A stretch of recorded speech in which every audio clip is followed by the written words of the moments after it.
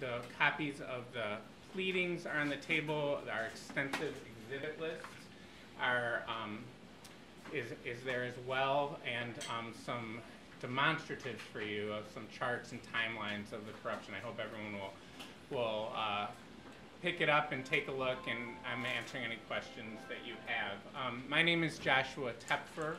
That's T-E-P-F-E-R, and I'm um, an attorney with the Exoneration Project at the University of Chicago Law School. Uh, I'm joined by a number of people here, go through, but um, there are um, eight individuals who are involved as petitioners, in this case seven petitioners, and then Aleon Thomas, who is the son of Philip Thomas. Philip got in a serious car accident this morning, unfortunately, so he's hospitalized, but his son is here and, and Aleon's going to talk briefly. Um, Jamar Lewis, one of our petitioners, will also speak very briefly as well um, regarding our petition. Of course, Ben Baker and Clarissa Glenn are up here as well, hiding in the background there. Um, these individuals that are standing before you represent just some of the victims that were affected by the Chicago tactical team led by Sergeant Ronald Watts over a decade of terror in the South Side Ida B. Wells housing project. I'm going to ask them to move for a second.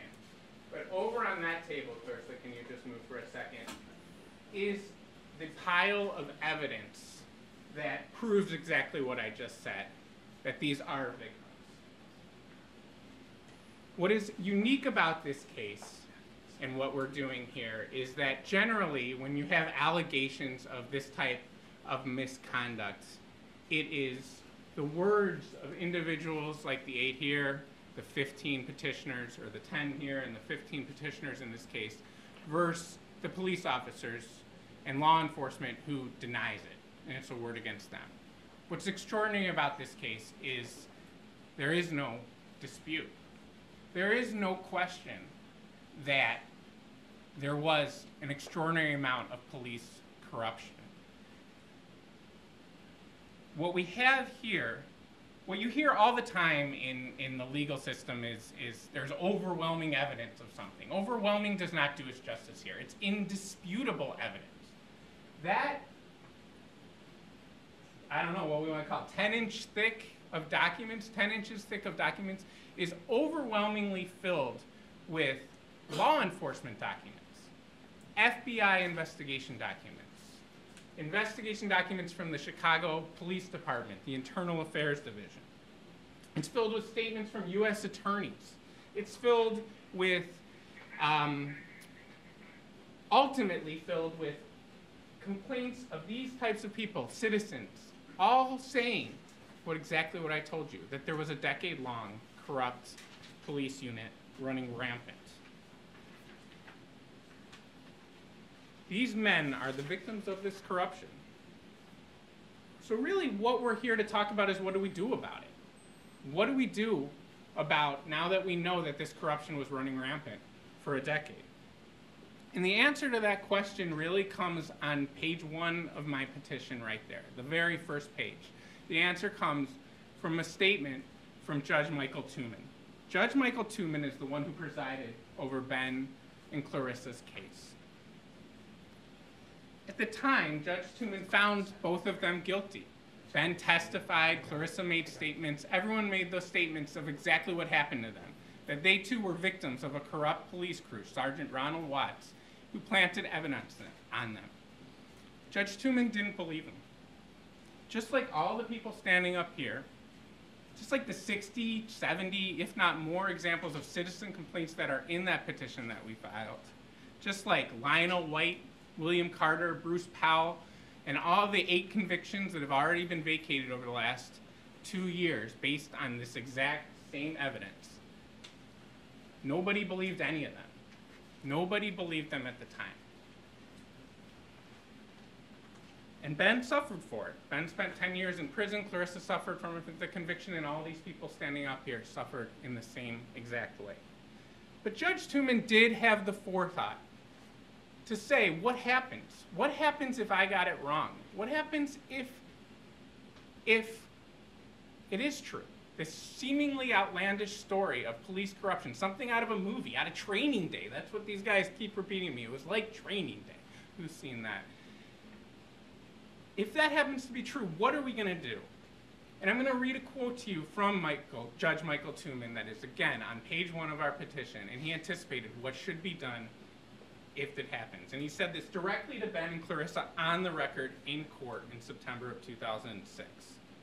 Quote, I can't conceive of a situation where if things should develop down the line, where it turns out that your suspicions are correct, and that Sergeant Ronald Watts is tagged at some point, and that there is that there is a judge in this building. I can't conceive that the state would object to vacating pleas and even convictions. It just would not be right to allow convictions if they were based upon outlier police. So what we're asking today is for that promise to be kept for these 15 petitioners. It is truly indisputable that these were, quote, outlaw police. Ronald Watts, by any definition of the term, has been tagged. There are piles upon piles of documents to prove it. Let's keep our promise to these men. Let's vacate these 15 convictions and let's start the process of healing the damage that was inflicted on this community by these corrupt officers.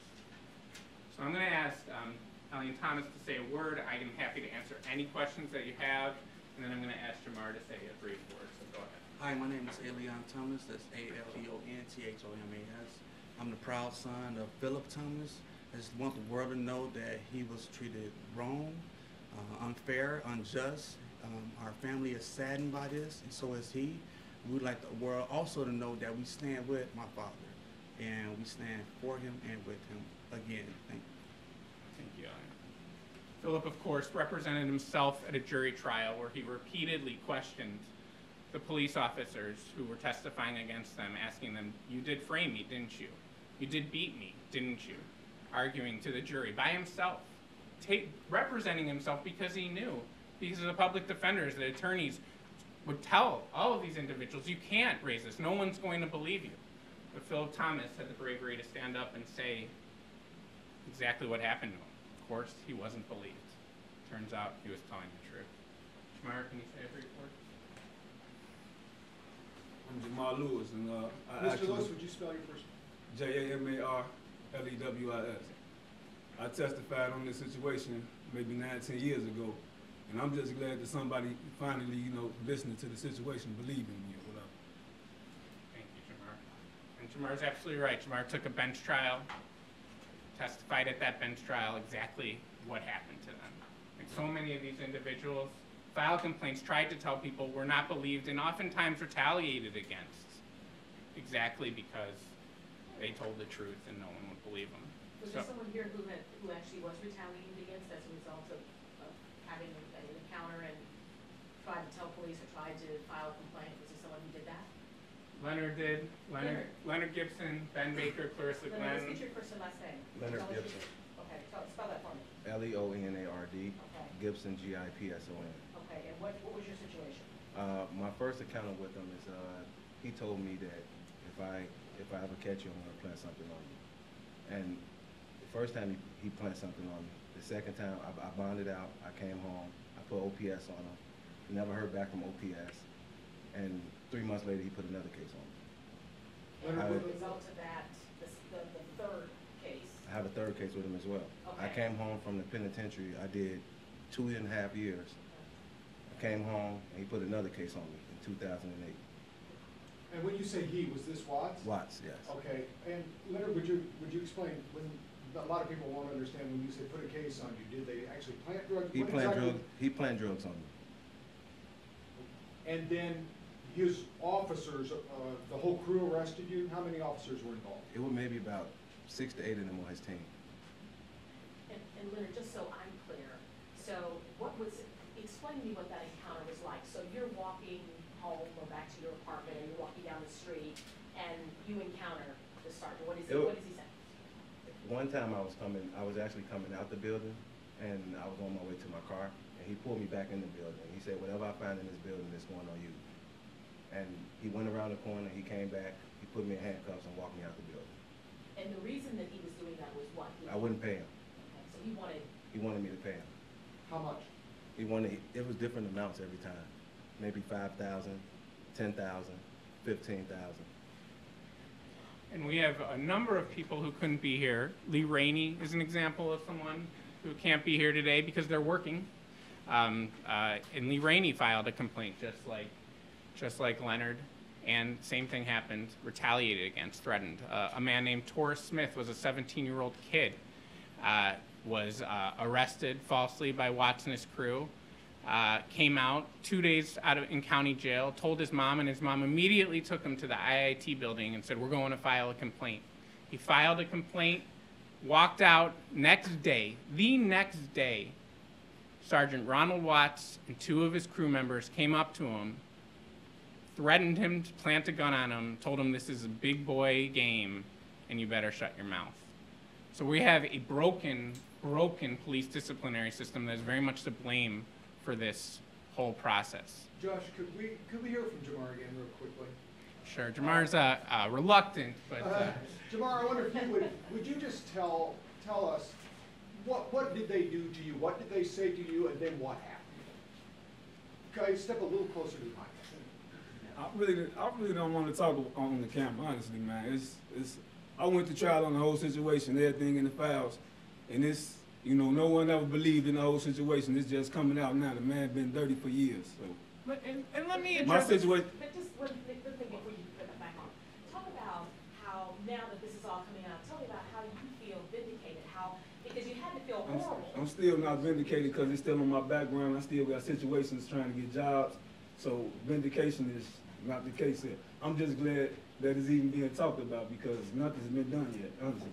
Okay. And, and let me address that. I mean, one thing that has gone unsaid with all this is the extraordinary amount of courage these men have shown. Unbelievable men. Being here right now, courageous. Jamar getting up here, me begging him to talk to you because you know how what happened when they were trying to expose this? I already told you. They were retaliated against. They were beaten and they were planted more evidence on, and planted, framed yet again. And those officers, those very same officers who were part of Watts' crew, are very much alive and serving our streets of Chicago today. And Leonard Gipson, for example, in his affidavit, took a picture of these officers continuing to harass him. Robert Gonzalez continuing to harass him as he's trying to go around and live his life.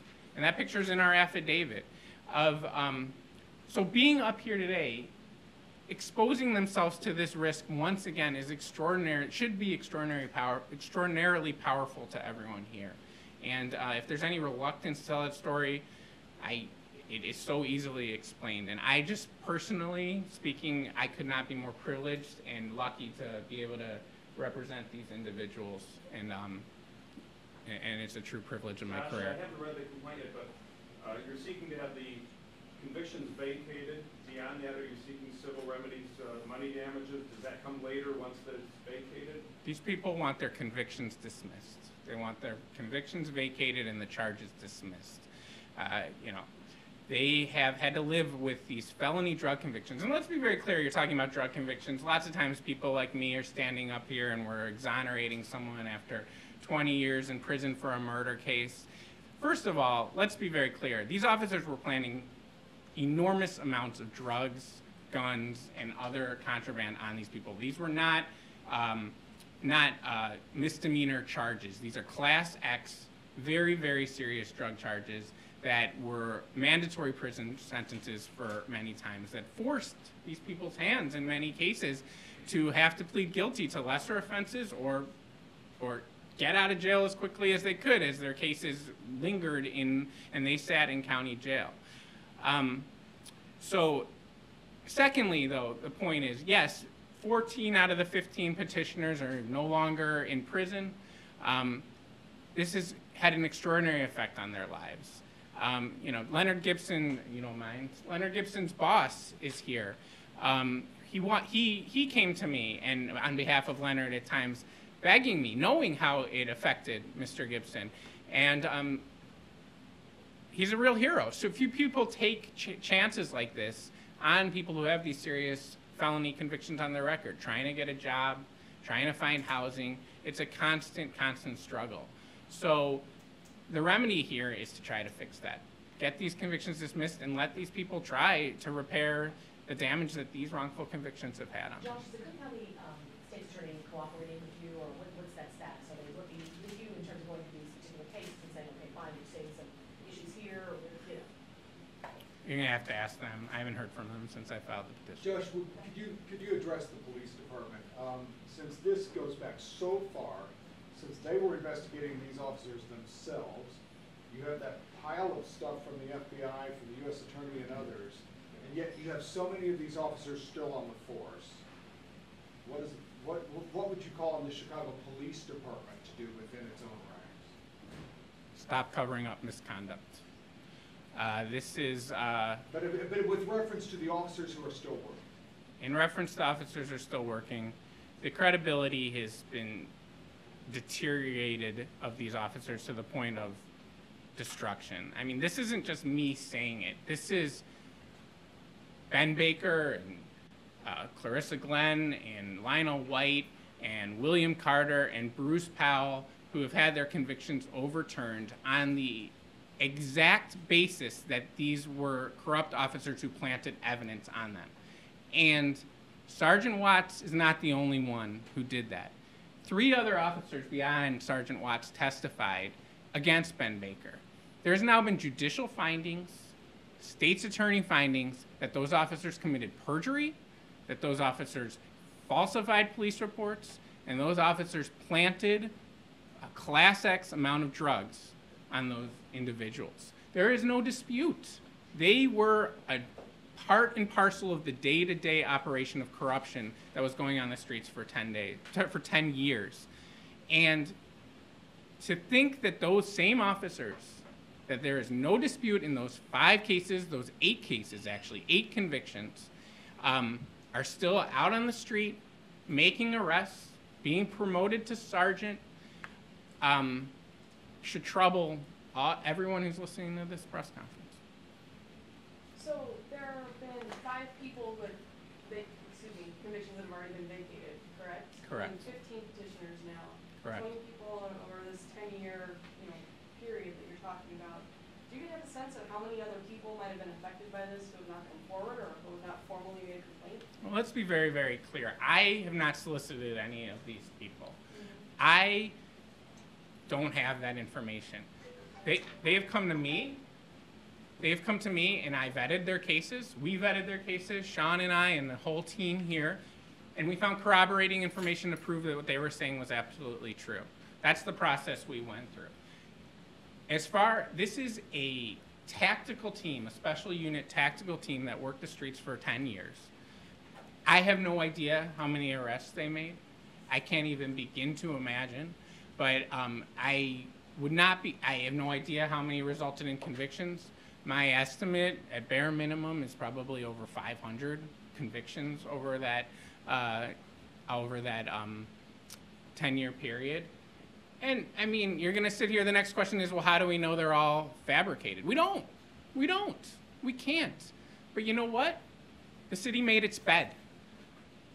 Letting this ramp, this corruption run rampant for 10 years, there's no way to separate. I'm going to mix my metaphors, but the wheat from the chow, is it? I can't remember. Chaff. There it is. Thank you. There's no way. I'll, I'll give you the quote now. There's no way to separate the wheat from the chaff.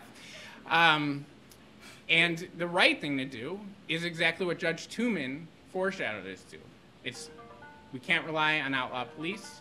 Every single one of these cases, every single one of them, what you see in every finding, everyone that went to trial or a pretrial motion is this is a credibility contest. Who do we believe, the police officers or these citizens? Well, who do you believe now?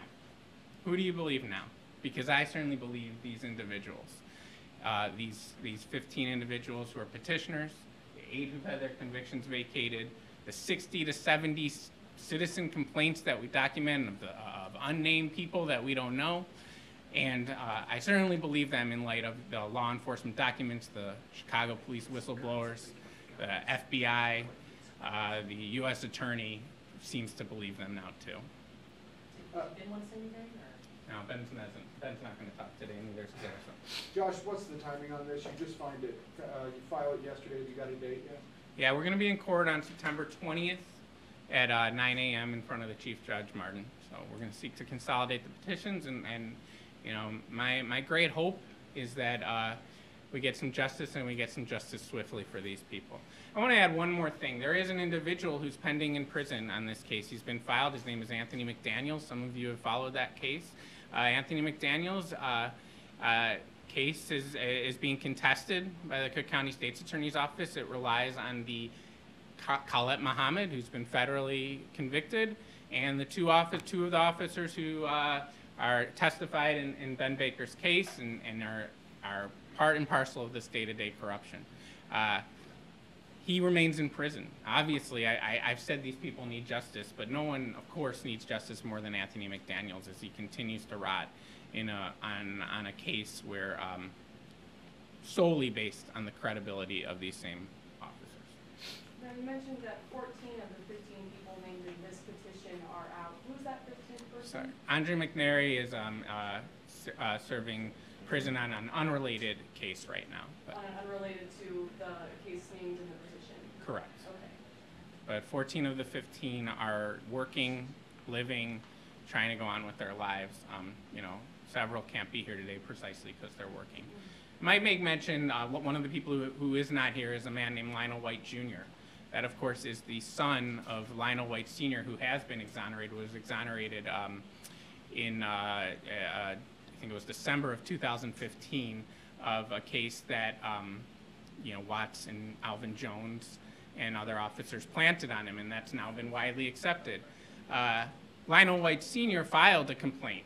He was beaten for it. He filed a complaint, uh, I believe, in, against these officers. Of course, he was not believed. I will tell you, weeks, weeks after Lionel White filed his complaint against Sergeant, now Sergeant Alvin Jones, Sergeant Alvin Jones and Ronald Watts targeted Lionel White Jr. for arrest and planted evidence against him. And that's the case we're seeking to overturn for Lionel White Jr. now. So, you want another example of, of the vindictiveness and the corruption? That's a prime example. Lionel White Jr. is at work today, though. So Lionel White Jr. was targeted specifically because of the complaint his father made, and that arrest that his father complained about is the one that was ultimately convicted but then vacated. Yeah, I can, all I can tell you is that when Lionel White Jr. asked Sergeant Watts why, why he was doing this to him, why he was arresting him falsely and planting evidence on him, Sergeant Watts looked at him and said, "Take it up with Al." And three weeks before or so, roughly three weeks or so before, Lionel White Jr. filed an OPS complaint against Alvin Jones, claiming that he framed him and beat him severely, hospitalized him. We have hospital records to prove it. So I'm putting two and two together. You guys can make your own decisions on what I'm that. getting at is that complaint against Jones is the one connected to the arrest for the conviction that was ultimately vacated. That's absolutely right, Okay. Megan. Yes, and uh, and I mean, what goes without saying here, the Torres Smith story, the Lionel White Jr. story is, these officers knew exactly who and when they were being complained about, and that's not even in dispute. That's in the collective bargaining agreement of the uh, Chicago Police. They always are told who complained against them, and in this case, when they were told, these corrupt officers uh, targeted them yet again. Josh, is there any new development, is there any reason why this case is being brought now? These are all pretty old cases, those reports, a lot of that stuff was out there, Watts was indicted some time ago. Why, uh, why file this week? Is there any new development or new information that's come out in subsequent cases? Is that, what's, what's this? Well, I, I, I would take issue with the idea that this stuff has been out there. The complaints, the CR complaints that have been the backbone of, that are the backbone, the citizen complaints of our uh, complaints or of our petition were not out there. They were not out there until Jamie Kalven and a team of attorneys fought and fought to get them public. And that did not happen until, what, literally no more than six months ago that the, the litigation was finally concluded and we were able to start getting this information from the Freedom of Information Act. I, I had no other way of getting it, nor did anybody else. Um, so that's one. Two, the FBI documents that are the, another backbone of our of our pleading um, continue to be, for lack of a better word, covered up. I mean, we have, they're highly, highly redacted. We only got that from, again, a Freedom of Information Act lawsuit that forced the, the federal government's hand to at least give us some highly redacted documents to show the scope of, of this complaint. The, the sworn statements from whistleblowing police officers, Shannon Spalding, Daniel Echeverria, Mickey Spargarin, Pete Cachonis, all, all came about in the last year or two. This is all very, very new information. And of course, Sergeant Ronald Watts and, and Officer Kallatt Mohammed taking the fifth, when asked about the scope of their corruption, all came out this year. So um, that's the evidence. Uh, the if there's any complaint that we didn't file it within a couple months, I can't begin to tell you the enormous effort and team effort it took to put this together, to get transcripts, uh, to look in court files. Uh, getting transcripts can take months from court reporters in old offices, which we needed to corroborate that these individuals did, in fact, like Jamar, testify to this case, to this corruption. Um, so uh, I don't think there's any real delay here at all. Um, these people have come to me, and I'll be clear, they're still coming to me. I mean, I put this off as long as I could, but um, you know, I'm getting calls today. I'm getting calls uh, in the last couple weeks of, of cases that we're now going to investigate, and we're going to continue to do the exact same process we did for these 15 men. We're going to vet them. We're going to see if they're corroborated.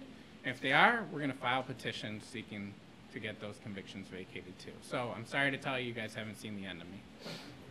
Do you expect any uh, actions taken against the officers? I expect our public officials do their job and keep their promises. We have a, a county prosecutor who ran on reform. I think this is a good place to start. Any other questions?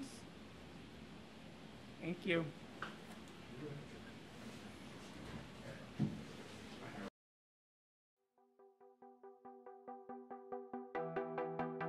You're watching Hard Lens Media.